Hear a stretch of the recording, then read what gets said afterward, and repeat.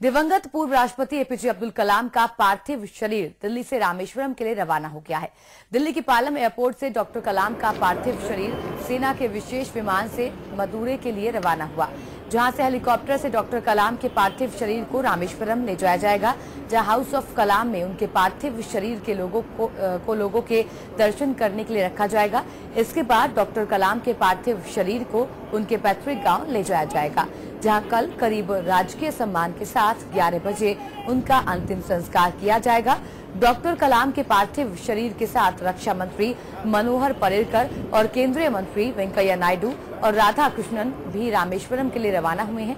आपको बता दें कि सोमवार को मेघालय के शिलोंग में डॉक्टर कलाम का दिल का दौरा पड़ने से निधन हो गया था। जिसके बाद उनका पार्थिव शरीर मंगलवार को दिल्ली लाया गया था।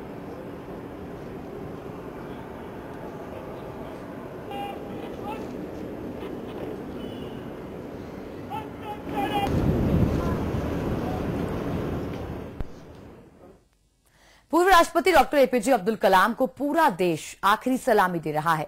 उनके सम्मान में राष्ट्रपति भवन से लेकर संसद और सुप्रीम कोर्ट तक तिरंगा आधा झुका दिया गया है। वहीं पीएम के संसदीय क्षेत्र वाराणसी में भी एपीजे अब्दुल कलाम आज़ाद के लिए स्पेशल गंगा आरती की गई। साथ ही लोगों ने उन्हें याद भी किया। आपको बता दें कि डॉक्टर कलाम का सोमवार शाम को शिलोंग में निधन हुआ था।